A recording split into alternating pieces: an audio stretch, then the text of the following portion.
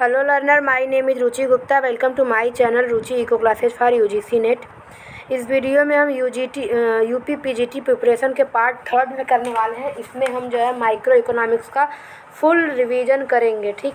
इससे पहले जो आ, हमने जो है फुल रिवीजन में प्रिपरेशन के टॉपिक में जो है हमने जो है डिमांड एनालिसिस का जो है पूरा पार्ट किया। उसके बाद जो है हमने कंज्यूमर बिहेवियर की थ्योरी का एनालिसिस किया है, ठीक?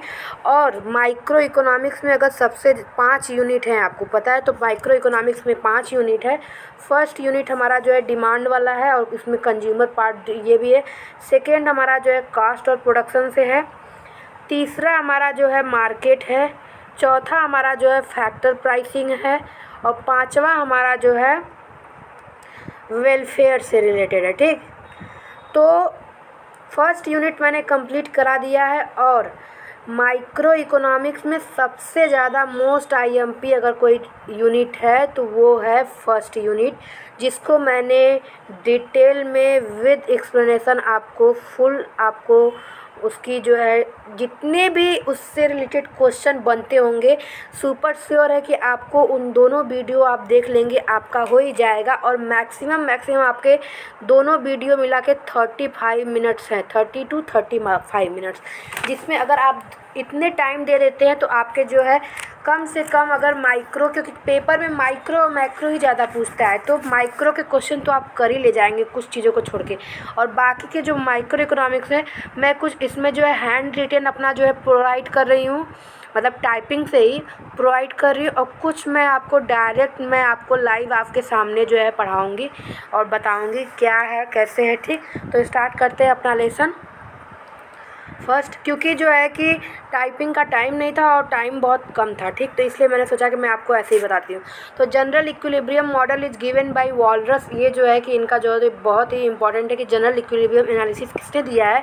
तो वो वॉलरस ने दिया है। हम वेलफेयर से स्टार्ट कर रहे हैं। और इक्विलिब्रियम पॉइंट कहाँ पर एग्जिस्ट होता है? जहाँ पर हमारी क्वान्टिटी डिमांड इक्वल्स टू जो क्वान्टिटी सप्लाई होती है, वहाँ पर हमारा इक्विलिब्रियम एग्जिस्ट होता है। कभी कभी क्वेश्चन में पूछता है कि हमारा स्टेबल इक्विलिब्रियम है या अनस्टेबल इक्विलिब्रियम इक्विलिब्रियम है, ठीक? तो जब डिमांड हमारा सप्लाई को काटता है, यानी हमारा सप्लाई सप्लाई दिया हुआ है डिमांड सप्लाई को ऊपर से काटता है तो उसे जो है स्टेबल इक्विलिब्रियम कहते हैं। और जब हमारा डिमांड जो है सप्लाई को नीचे से काटता है, समझिए, ऐसे होगा, जैसे ये हो गया हमारा, ये हमारा सप्लाई हो गया। ये डिमांड हमारा ऊपर से इसको कट किया, ये स्टेबल इक्विलिब्रियम हुआ, ठीक?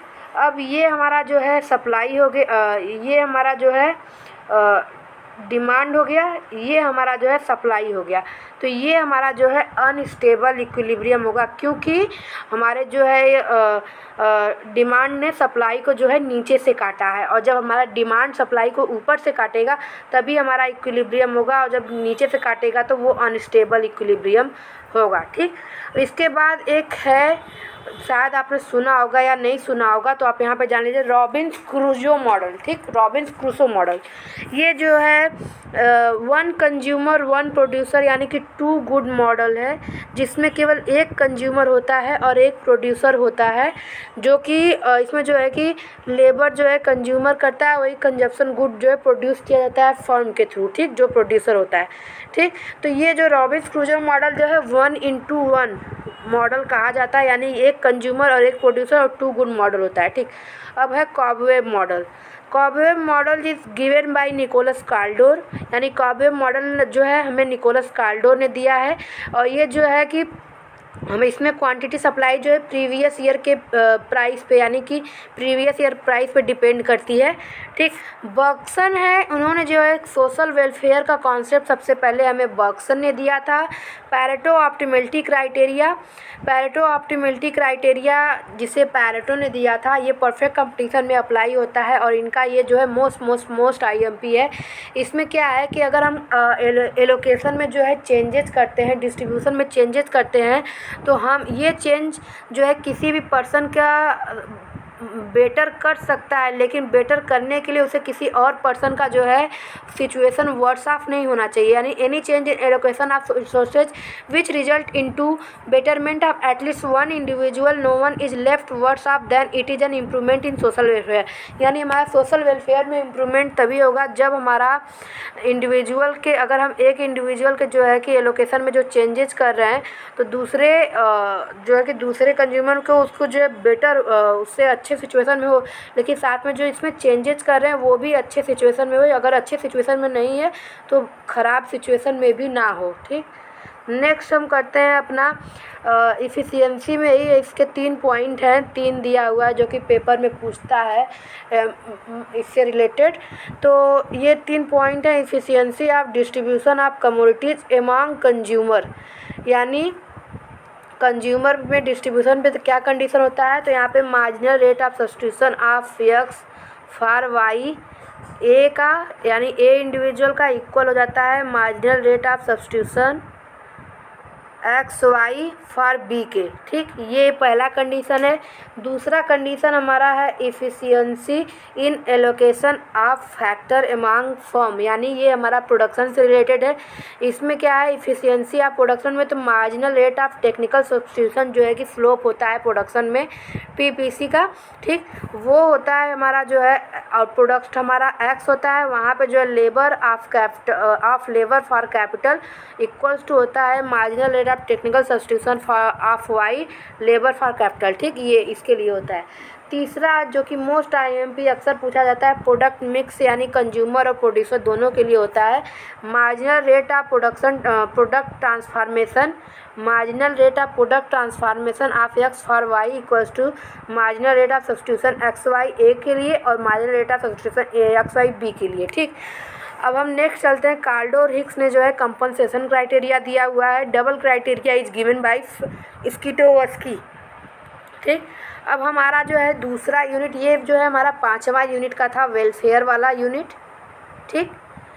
और ये वेलफेयर में याद दीजिए कि वेलफेयर के बारे में सबसे पहले हमें बॉक्सन ने दिया था। जी बॉक्सन ठीक?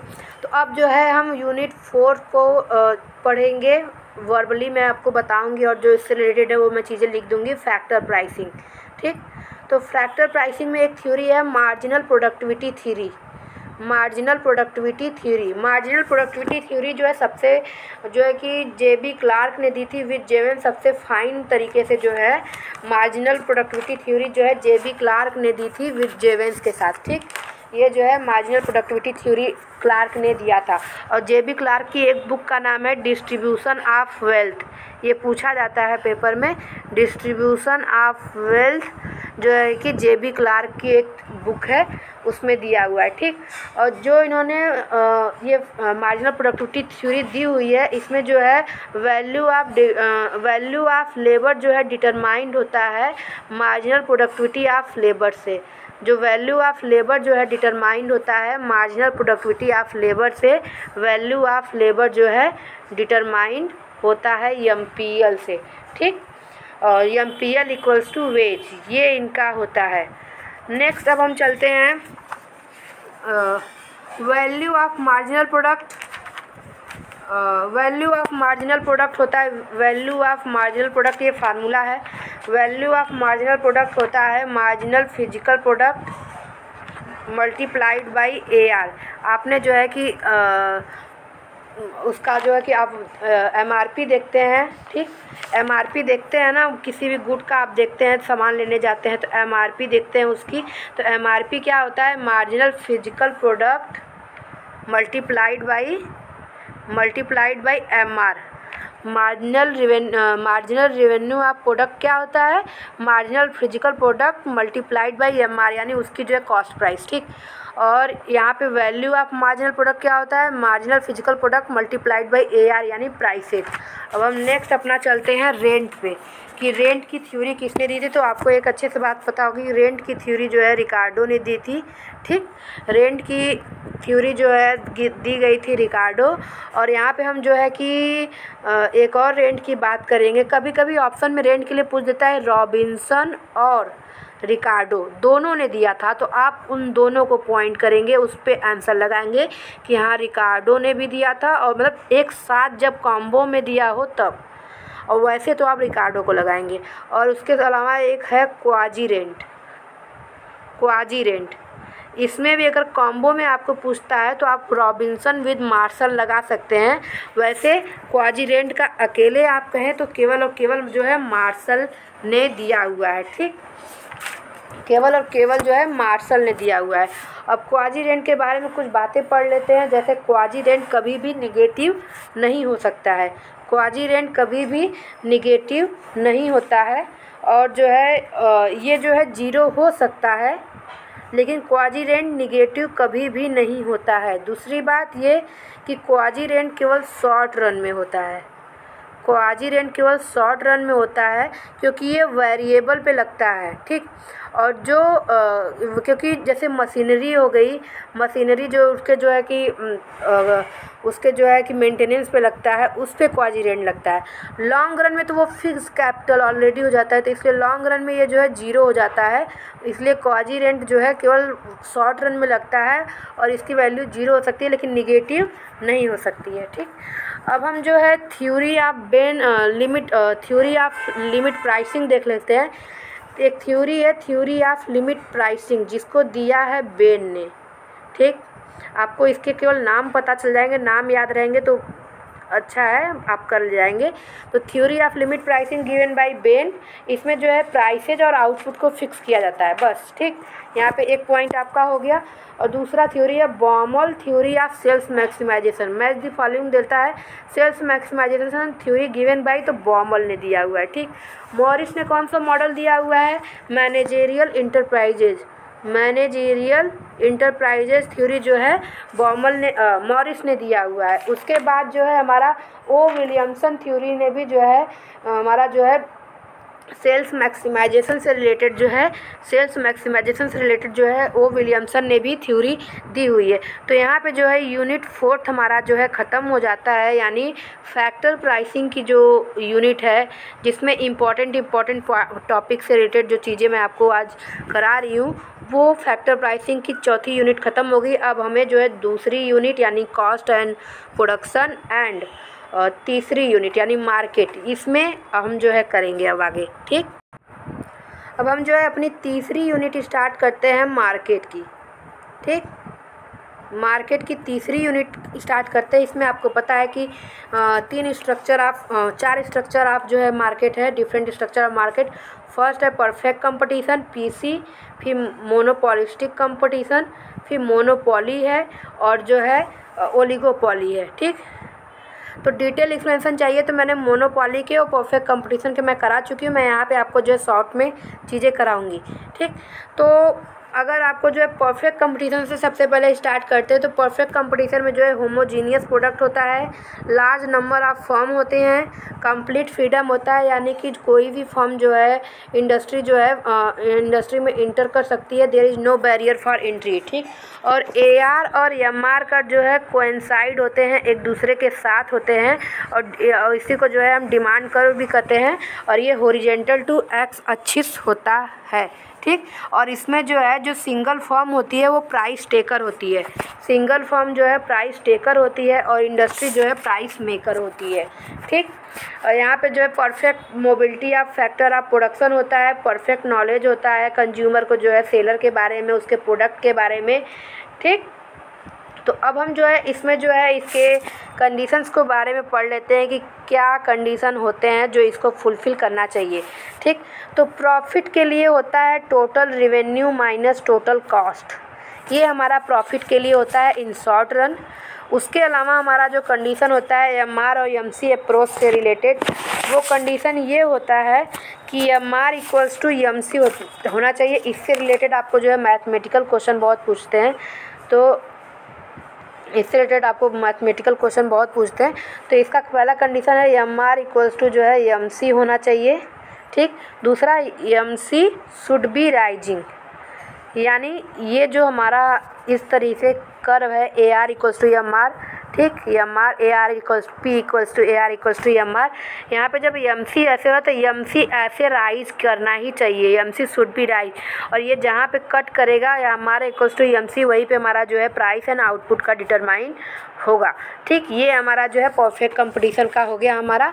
और फिर यहाँ पे अगर शट डाउन पॉइंट जो है मार्केट में पूछता है, चाहे वो कोई भी कोई भी टाइप का मार्केट हो, चाहे मोनोपोली हो, चाहे कंपटी पीसी हो P equals to A V C ही हमारा जो है शट डाउन पॉइंट होता है। अगर इसके नीचे हमारा प्राइस आता है तो फॉर्म जो है बंद हो जाती है और उसके ऊपर होता है तो हमारी जो है प्राइसेज ए वी सी जो है तो वो रन करती रहती हैं, ठीक? और अगर हमारा जो है इस परफेक्ट कंपटीशन में अगर आपसे पूछ दिया कि सप्लाई कर क्या होता है, ठीक? परफेक्ट कंपटीशन में हमारा सप्लाई कर क्या होता है तो यम सी के ऊपर परफेक्ट कंपटीशन में हमारा सप्लाई कर क्या होता है तो एबव यम सी कर्व जो हमारा एसी होता है, यानी आपका ये यम सी आ गया तो ए ए सी हमारा ऐसे आता है, ठीक? तो ए सी के ऊपर और यम एम सी पॉइंट जो हमारा राइजिंग पॉइंट होता है, वो हमारा जो है सप्लाई कर ऑफ़ फर्म होता है। मैं आपको बोल देती हूँ the supply curve of firm is rising part of short run short run marginal cost curve from the minimum point of A C यानी इस ए सी मिनिमम पॉइंट से जहाँ से हमारा ए सी को काट करके मिनिमम ऊपर जाता है एम सी ये यहाँ से ये वाला पार्ट हमारा जो है राइजिंग पार्ट हो, जो होता है, वो सप्लाई करवा परफेक्ट कंपटीशन होता है। और इसमें जो है, अब मैं आपको परफेक्ट कंपटीशन से रिलेटेड कुछ पार्ट जो बता देती हूँ, जो कि पेपर में पूछता है। पहला ये है कि हमारा ऑप्टिमम लेवल वहाँ पे होता है ऑप्टिमम लेवल या ऑप्टिमम एलोकेशन वहाँ पे होता है, जहाँ पे मिनिमम पॉइंट ऑफ़ और long run A C curve होता है। यानी लॉन्ग रन एसी कर अपने मिनिमम पॉइंट पे होता है। ठीक, ये इस तरीके से।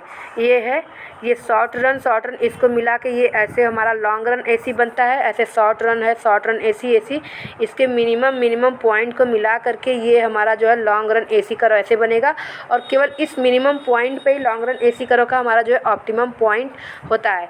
और लॉन्ग रन में जो है परफेक्ट कंपटीशन में लॉन्ग रन में हमारा जो है फॉर्म केवल जो है नॉर्मल प्रॉफिट अर्न करती है। नॉर्मल प्रॉफिट अर्न का मतलब ज़ीरो इकोनॉमिक प्रॉफिट होता है, ठीक?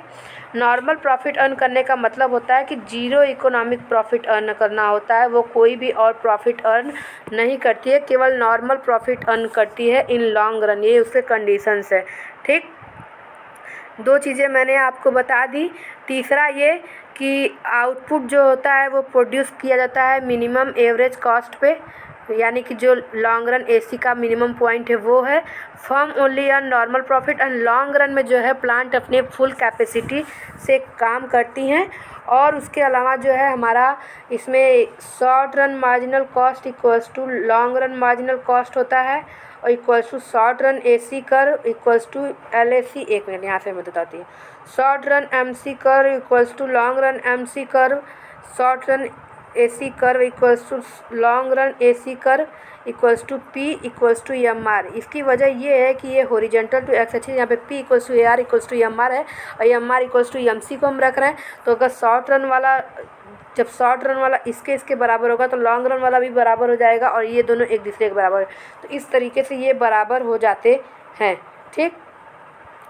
तो ये हमारा परफेक्ट कंपटीशन यहाँ पे ख़त्म होता है। अब हम मोनोपॉली के बारे में थोड़ा सा जान लेते हैं।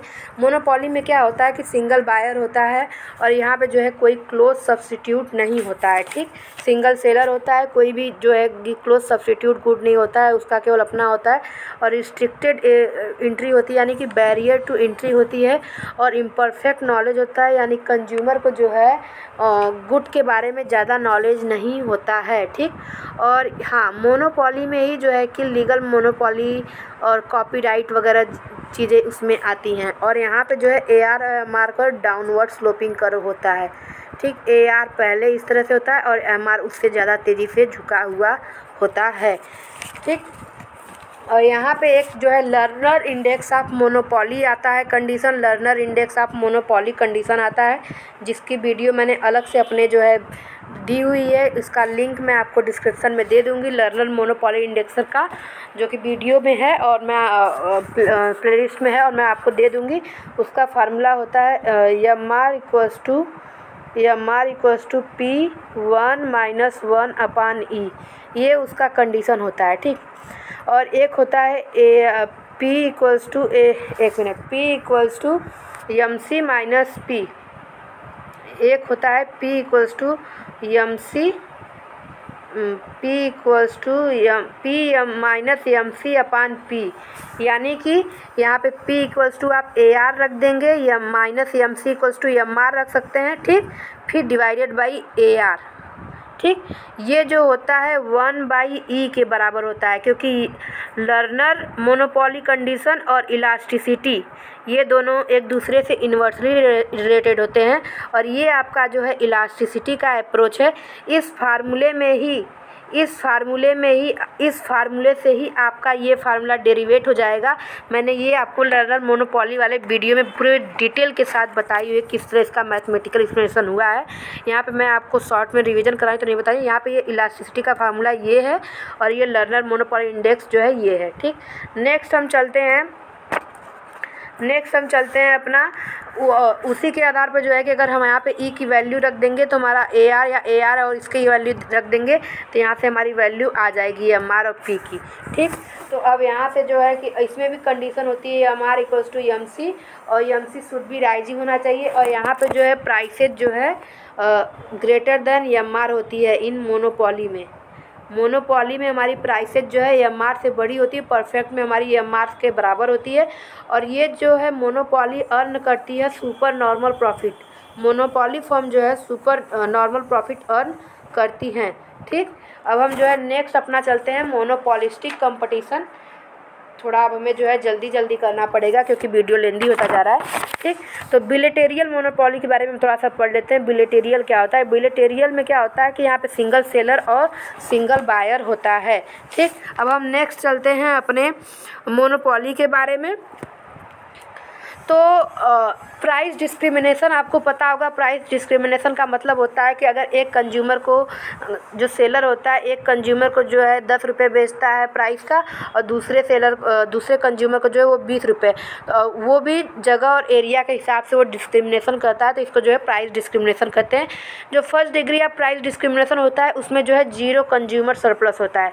First degree of price discrimination में ज़ीरो कंज्यूमर सरप्लस होता है और सेकेंड डिग्री में जो है buy one get one free जैसे चीज़ें अप्लाई होती हैं, जैसे आप कभी पूछ देता है buy one get one free किसमें होता है? Second degree of price discrimination और ज़ीरो कंज्यूमर सरप्लस किसमें होता है?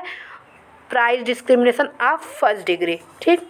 तो अब हम जो है कि, अब हम जो है फाइनली जो है मोनोपॉलिस्टिक में जा रहे हैं। मोनोपॉलिस्टिक में जाने से पहले मैं आपको एक चीज़ और यहाँ पे बता देती हूँ। कि अगर किसी मार्केट में जो है हायर इलास्टिसिटी होगी। इलास्टिसिटी अगर वहाँ पे ज़्यादा होती है तो वहाँ पे प्राइसेज कम होते हैं और इलास्टिसिटी कम होती है तो प्राइसेज ज़्यादा होते हैं, ठीक? प्राइसेज और इलास्टिसिटी में जो है इन्वर्सली रिलेटेड इलास्टिसिटी ज़्यादा होगी तो प्राइसेज कम और इलास्टिसिटी कम है तो प्राइसेज ज़्यादा। मोनोपॉलिस्टिक कंपटीशन को जो है सबसे पहले दिया था जॉन रॉबिन्सन। हम यहाँ पे जो जॉन रॉबिन्सन की थ्योरी जो है डिस्कस करने वाले हैं। मोनोपॉलिस्टिक कंपटीशन को जो है ई चैम्बरलिन और जॉन रॉबिन्सन के थ्रू दिया गया था। मोनोपॉलिस्टिक कंपटीशन में ही सबसे पहले जो है कॉन्सेप्ट ऑफ़ सेलिंग कॉस्ट को जो है इंट्रोड्यूस किया गया। कॉन्सेप्ट ऑफ़ सेलिंग कॉस्ट जो है इंट्रोड्यूस किया गया जो है चैम्बरलिन के चैम्बरलिन के थ्रू और इसी मोनोपॉलिस्टिक कंपटीशन में जो है, किया गया। मोनोपॉलिस्टिक कंपटीशन में जैसा कि आपको पता है कि इसमें जो है कुछ मोनोपॉलिस्टिक में जो है डिफ्रेंशिएटेड और डिफ्रेंशिएटेड जो गुड होते हैं, वो डिफ्रेंशिएटेड होते हैं, यानी कि वो जो है एक दूसरे से डिफ़र करते हैं चाहे कैरेक्टरिस्टिक्स में और उसमें जो है इसके मेनी फॉर्म होती हैं मेनी फॉर्म होती हैं, उसके बाद जो है फ्रीडम होती है, यानी कि इसमें बैरियर टू एंट्री बिल्कुल नहीं होती है। ठीक? अब हम जो है कि, अब हाँ ओलिगो मोनोपॉलिस्टिक कर रहे थे। अब हम जो है डिओ पॉली मॉडल कुछ ओलिगो पॉली से रिलेटेड जो है डिओ पॉली मॉडल कर लेते हैं। इसमें हमें केवल इसके नाम जानना है, ठीक? तो हम करते हैं। फ़र्स्ट है हमारा कुरनोट डिओ पॉली मॉडल ठीक? कुरनोट डिओ पॉली मॉडल जो है कुरनोट ने दिया था हमारा। कुरनोट मॉडल कुरनोट जो है कि ज़ीरो कॉस्ट पे डिपेंड करता है ज़ीरो कॉस्ट उन्होंने लिया था अपने मॉडल में। और एक है हमारा आइसो प्रॉफिट करो के बारे में पढ़ जाए तो आइसो प्रॉफिट करो जो दिया है हमारा वॉन स्टैकल बर्ग ने, ये सारे जो इंपॉर्टेंट टॉपिक एक एक लाइन के हैं, आप जो है नोट कर लीजिएगा कॉपी पेन से, आपको ताकि क्योंकि मेरे पास इतना टाइम नहीं है कि मैं आपको करती जाऊँ, क्योंकि मैं आपको ज़्यादा से ज़्यादा प्रोवाइड करना चाहती हूँ, ठीक? तो आइसो प्रॉफिट कर जो दिया गया है, हमारे वॉन स्टैकल बर्ग ने दिया है और स्टैकल बर्ड डिओपॉली जो मॉडल है डिओपॉली मॉडल एक स्टैकल बर्ग ने भी दिया है और स्टैकल बर्ड के मॉडल को जो है लॉजिकल एक्सटेंशन ऑफ़ जो है कुरनोट मॉडल कहा जाता है। Logical extension of Cournot model वो जो दिया है हमारा स्टैकल बर्ड ने दिया है, ठीक? और उसके बाद जो है हमारा बर्टन है ड्यूओपॉली का मॉडल, उसके बाद है चैम्बरलिन का ओलिगोपॉलिस्टिक मॉडल, जो कि इंटरडिपेंडेंस पे डिपेंड करता है, ठीक?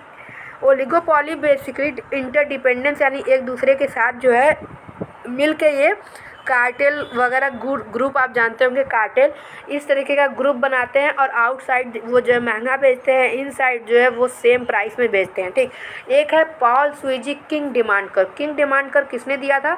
किंग डिमांड कर जो है हमारा पॉल स्विजी ने दिया था और इसमें जो है वो प्राइस रिजिटिटी और वेज रिजिटिटी पे जो है रहते स्टिक करते हैं ठीक। तो इस तरीके से हमारा जो है आ, हमने जो है यूनिट अपना सेकेंड थर्ड भी ख़त्म कर लिया मार्केट का, जो हमें शॉर्ट शॉर्ट करना है। और इसमें मैं आपको एक चीज़ और बता देती हूँ कि कंपनी जो है सुपर नॉर्मल प्रॉफिट अर्न कब करती है। कंपनी जो है या फर्म जो है सुपर नॉर्मल प्रॉफिट अर्न कब करती है? जब A R is greater than A C होता है and M R equals to M C होता है, तब कंपनी जो है सुपर नॉर्मल प्रॉफिट अर्न करती है। नॉर्मल प्रॉफिट कब अर्न करती है? जब A R equals to A C होता है और M R equals to M C ये तो सब में रहेगा, तब ये जो है नॉर्मल प्रॉफिट अर्न करती है या ज़ीरो इकोनॉमिक प्रॉफिट अर्न करती है। और मिनिमम लॉस यानी कि लॉस कब होता है? जब A R is less than A C होता है तो हमारा जो कंपनी है वो जो है अर्न करती है लॉस अर्न करती है ठीक। तो ये हमने अपने जो चार यूनिट कंप्लीट कर लिए हैं। अब हमारा जो है प्रोडक्शन और कास्ट से रिलेटेड जो है मॉडल बचा है। इसमें हम जो है दो तीन मिनट में जो जो है जल्दी जल्दी करने की कोशिश करते हैं। नहीं तो मैं आ, मैं जो है इसको आपको नेक्स्ट वीडियो में जो है कॉस्ट और प्रोडक्शन से रिलेटेड क्योंकि इसमें जो है प्रोडक्शन से रिलेटेड कुछ टीपी यानी टोटल प्रोडक्ट मार्जिनल प्रोडक्ट और उससे रिलेटेड जो है law of diminishing return law of variable proportion ये आइसो क्वांट मॉडल ये सारी जो चीज़ें थोड़ी इंपॉर्टेंट हैं। तो इससे रिलेटेड जो है, और उसमें कॉप डगलस प्रोडक्शन फ़ंक्शन भी आएगा, जिससे रिलेटेड उसके वीडियो भी मैंने बनाए हैं। तो ये सारी चीज़ें इंपॉर्टेंट है तो मैं आपको जो है, इसका मैं सोच रही हूँ कि विद डिटेल एक्सप्लेनेशन मैं आपको नेक्स्ट वीडियो में करूँगी। तब तक जो है चार यूनिट को आप जो है रिवाइज़ कीजिए और मैं बहुत ही जल्द जो है इसका भी जो है माइक्रो इकोनॉमिक्स का जो है प्रोडक्शन और कॉस्ट का भी मैं दे दूँगी, जो 10 से 12 मिनट का होगा विद डिटेल एक्सप्लेनेशन आपको अच्छे से मिल जाएगा वो विद टाइपिंग क्योंकि ये वाला तो मैंने तीन यूनिट ऐसे ही ख़त्म किया।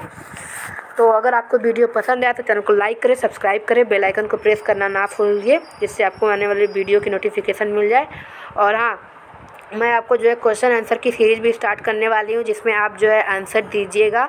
कमेंट सेक्शन में कमेंट करके, जिससे आपको आपके जो है टेस्ट कि आपका लेवल कितना है, आपने कितना पास किया, जिससे आपको कॉन्फिडेंस भी बूस्टअप हो जाएगा। तो मैं वो भी शुरू करने वाली हूँ तो थैंक यू सो मच और प्लीज़ प्लीज़ वीडियो को लाइक करें शेयर करें सब्सक्राइब